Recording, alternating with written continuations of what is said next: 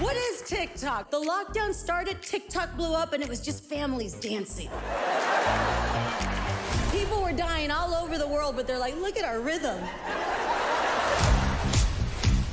I grew up in the hood. Sometimes we'll name our kids things we want out of life, you know? Like, yo, that's my daughter, Mercedes. What's up? How you doing?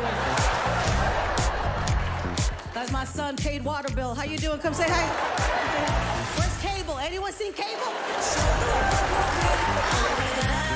Poverty, and now I have money I never thought I had, you know? And now, I go crazy.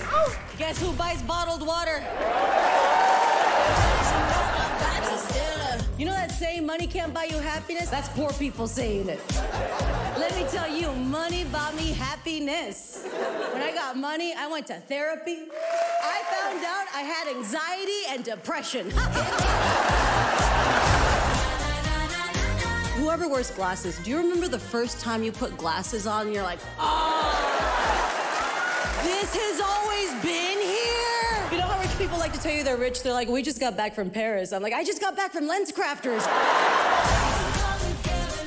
When I got insurance, I didn't know what to do with it, right? So I asked my friend, like, what do I do with it? He's like, go get a checkup. And I was like, what's a checkup? I'm gonna blow your minds. A checkup. That's when you wake up, you're not sick. And you say, let's go to the doctor anyway, come on.